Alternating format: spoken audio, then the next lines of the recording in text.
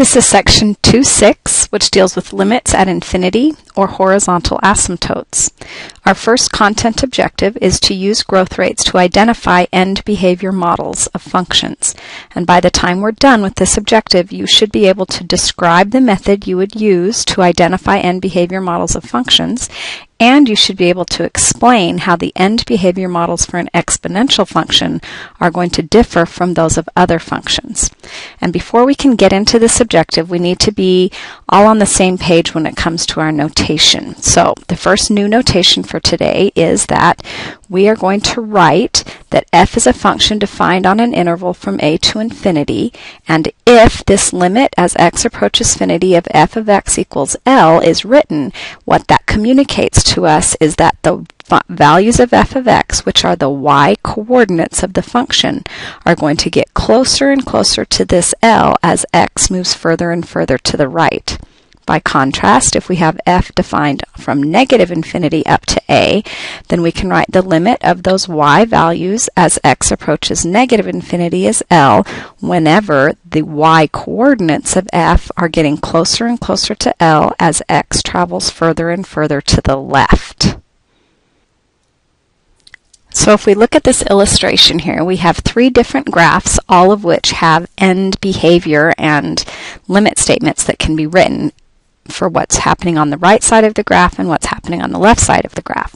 So if we look at this one, we can see that as x travels further and further to the right, the y coordinates on the picture are getting closer and closer to 3. So I could write the limit as x approaches infinity of f of x is getting closer and closer to 3. Same thing on the left side. We can see that as x becomes more and more negative as we move further and further to the right, the y values are getting closer and closer to negative 3. So I can write the limit as x approaches negative infinity of f of x is equal to negative 3. Same thing here. We can see that as x gets bigger and bigger, I'm oscillating around this line y equals 1. So I could write the limit as x approaches infinity of f of x is going to equal 1. By the same token, on the left side, we can see that that same behavior is happening, and we can write the limit as x approaches negative infinity of f of x is also equal to 1. On this one here, we're interested in the behavior as x gets large and as x gets really, really small. In both of those, we can see that the y coordinates are getting closer and closer to 1 half. So I can write the limit as x approaches infinity of f is a half, and the limit as x approaches negative infinity of f of x also equals a half. Now, hopefully at this point, you're already starting to think about horizontal asymptotes because here we've got this horizontal asymptote at 3, we've got another horizontal asymptote at negative 3, we've got a horizontal asymptote at 1. Even though we're crossing it an infinite number of times, those y values are getting closer and closer to the 1 on both sides. And same thing here, we've got a horizontal asymptote that appears to be occurring when y equals 1 half. So that's going to be a connection that comes into play later in this section. So kind of put that in the back of your mind and store it there until we come back. Next, we have some vocabulary. In addition to the notation, we have something that is called an end behavior model. So for numerically large values of x, we can sometimes model the behavior of a complicated complicated function by using a simpler one that acts virtually the same way on the edges of the graph. So these simpler functions are called end behavior models, and finding them simplifies the process of computing limits. And we're going to want to compute limits. So before we can compute the limits, we've got to be able to find end behavior models. So we have some mathematical definitions that kind of support this end behavior model. We say that we have a right end behavior model if the limit as x approaches infinity of the original function divided by its model will be 1. Same thing for a left end behavior model. The limit of the ratio of f over g as x goes further and further to the left will equal 1 if g is a good left end behavior model. So how do we find these end behavior models?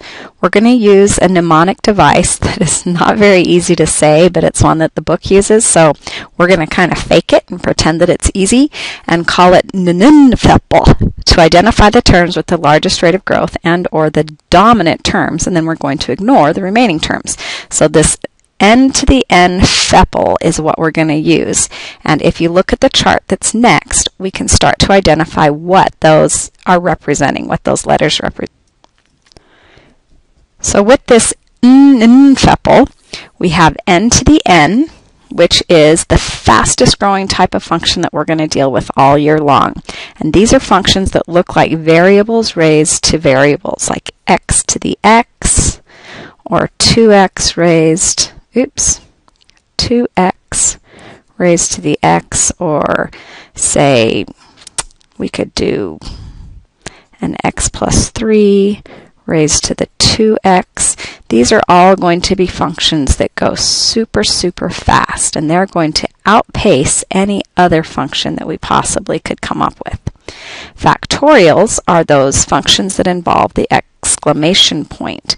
So that would be like this, or perhaps this, or maybe something like this. Then we have exponentials, which might be 3 to the x, or pi to the 2x, or 1 third to the x. So each of these involve numbers that are bases and powers that have exponents. Here we have things with explanation point or exclamation points, so those will be easy to recognize. These ones are different from exponentials because they have bases that are variables and exponents that are variables. So that's how we differentiate between the end of the ends and the exponentials. Next we have polynomials. Well, polynomials are ones that have bases that are variables and exponents that are numbers. So it could be something like this, or something like this, or even some roots. Technically, those aren't polynomials, but they're going to fit into the same sort of category in terms of growth. So polynomials have the variables in the base, exponentials have the numbers in the base, and n to the n's have variables in both the base and the exponent. So these will grow the fastest all the time. Then they're followed by factorials. Then we have exponentials. Now, if we read this, it says exponentials grow fast on one side and slow on the other, and that bigger bases cause bigger growth. So here we have a 3 and a 3.1415 on and on and on. So this particular exponential is going to grow faster than this one. And if you remember that group project that we did where we were looking at bases of exponentials, we noticed that if that base was smaller than 1, this would actually shrink on one side and then it's going to get bigger on the other side. So it kind of flips the behavior of these other ones where the bases were big. That's going to come into play when we find the right and left end behavior models for exponentials because left and right, it's going to depend on which side is growing. Our next type is logarithms. So logarithms are going to grow really slow. They're slower than everything else that we've had so far. And in this case, the bigger bases cause slower growth. So examples of logs might be a log natural of x. We could have a 3 log base 5 of x plus 2. We could have pretty much anything that involves a log. So in this case, I have a log base E, which is a 2.7-ish. So this one is going to grow faster than a log base 5 because bigger bases cause slower growth. And then last, I've thrown these in. We usually don't even consider them because they're constants, and constants don't grow at all. They're just flat. So those would be f of x equals any number at all. And those ones don't grow, so they're going to grow slower than the logs, which in turn grow slower than the polynomials, slower than the exponentials, slower than the factorials, slower than the n to the n's. So what does all this mean for us in terms of the end behavior models? Well, if we want an end behavior model, we want to find a function that looks just like this one if we get far enough out, far enough away, either in the positive direction or in the negative direction. So I'm going to illustrate this first one using a graph. If we look here at this picture, I have graphed e to the x plus x. And we can see that it um, looks one way on the left side of the graph and it looks another way on the right side of the graph. And I'm going to talk about the portion of the graph that grows the fastest on various sides. So if I look here at this hidden one, it says y equals x.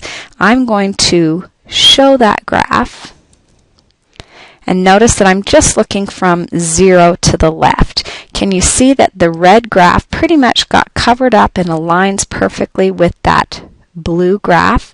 That means on the left-hand side, the graph of our original function, s, x plus e to the x, behaves an awful lot like y equals x. Whereas on the right-hand side, if I compare the graph of the red one to the graph of just e to the x, and I look at that one, we can see that it's getting pretty darn close. They're behaving very similarly on the right-hand side. So what does this mean for us in terms of end behavior models? If we go look here, the right side right end behavior model is going to be this term. And the reason it will be this term is because on the right side, e to the x grows. So e to the x looks like this, and it heads up super, super fast on the right side. Whereas on the left side, it's not growing at all. So on the right side, this is going to overtake the polynomial of degree 1. So our right hand end behavior model will be g of x equals e to the x. However, on the left side, because the exponential becomes virtually zero as we move further and further to the left, the dominant term is actually going to be the polynomial term or the x. So on the left side, g to the x is going to be the one that dominates. So the thing we have to remember is that e to the x grows on the right side only. It will dominate on the growing side. So exponentials grow fast on one side and slow on the other. And because they come before polynomials, they're going to outpace any polynomial when they're on the growing side. But on the left-hand side, the polynomial will take over. So now let's look at this one. Here, my right end model, I have a exponential I have a polynomial, and I have a log. So in order to determine which side is going to dominate for this exponential, I have to know which side it grows on. Well, 2 is a number larger than 1, so that means as I raise it to powers that are positive, it's going to grow on the right side really fast. So on the right side, the fastest term will be this 2 to the x.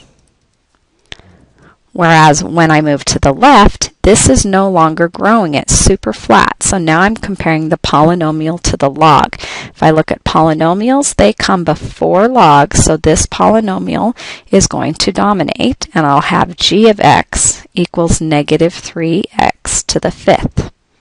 So again, notes to remember, this log term never comes into play.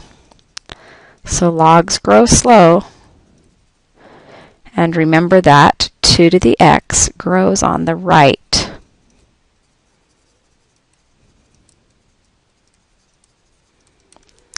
Last, we have an x cubed and a negative 3 to the negative x. Now, some people get a little confused by that notation, so I'm going to rewrite that. Let me pull this down here.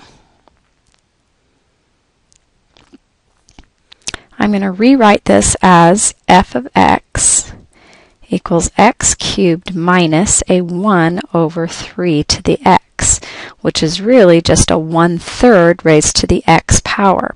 So now this, because the base is a third, is actually going to grow slow on the right, and it's going to get bigger on the left.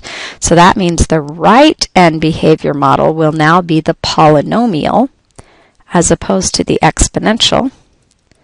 And the left will be dominated by the exponential term.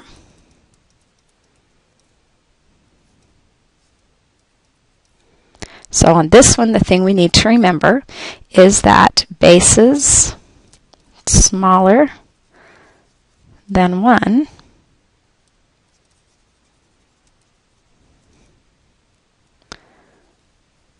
cause growth on the left instead of on the right.